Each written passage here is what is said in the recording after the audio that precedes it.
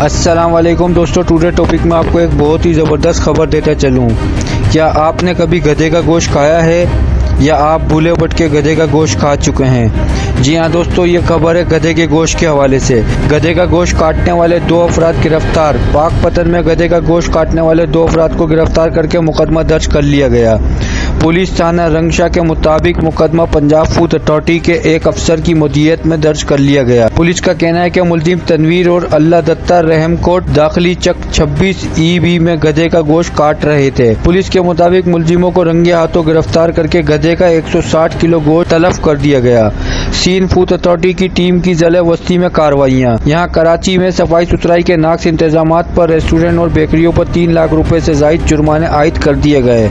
Karachi monitoring desk के मुताबिक scene food authority और कराची यूनिवर्सिटी के तलबा पर मुश्तमिल मुश्तर टीम ने जिला वस्ती में तीस से जायद मशहूर रेस्टोरेंट, बेकरी और खाने पीने के मराकज का दौरा किया। वाजे रहे कि कराची यूनिवर्सिटी के तलबा और सीन फ़ूड अथॉरिटी के अमले पर मुश्तमिल Mushtar team director general Sindh food authority Agha Fakhar Hussain की खसूसी हिदायत पर तश्ल दी गई थी।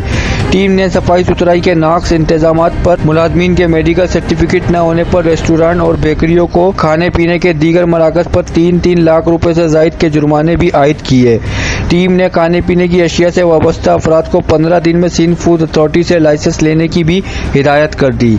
मुश्तर टीम की कार्रवाई को सिंध फ़ूड अथॉरिटी के डायरेक्टर जनरल आगा फखर हुसैन ने मॉनिटर किया। सिंध फ़ूड अथॉरिटी की डायरेक्टर जनरल आगा फखर हुसैन ने अपने एक बयान में कहा है कि खाने पीने की अशिया के मैार पर कोई समझौता नहीं किया जाएगा। और खाने पीने की अशिया की तैयारी और फरोख से वाबस्ता अफराद अफजान सेहत के बुनियादी असूलों की पाबंदी का खास ख्याल रखें। बसूरत दीगर खिलाफ वर्जी करने वालों के खिलाफ सीन फ़ूड अथॉरिटी इकट के तहत कार्रवाई की जाएगी।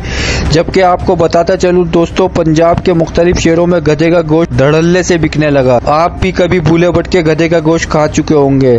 तो दोस्तों, होशियार और खबरदार रहें। अगर कहीं बड़े रेस्टोरेंट में खाने पीने जाएँ तो गोश्त ज़रूर चेक कर लें।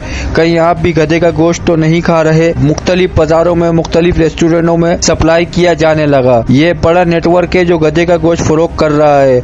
मुख्तलिफ़ मार्केटों में और मुख्तलिफ़ बड़े बड़े रेस्टोरेंटों में गधे का गोश्त बेचा जा रहा है, जो आवाम के लिए, अफसाने सेहत के लिए बिल्कुल ख़तरनाक है। तो दोस्तों, अपना और अपनी सेहत का ख्याल रखें और हमारे चैनल को सब्सक्राइब ज़रूर कीजिएगा। शुक्रिया।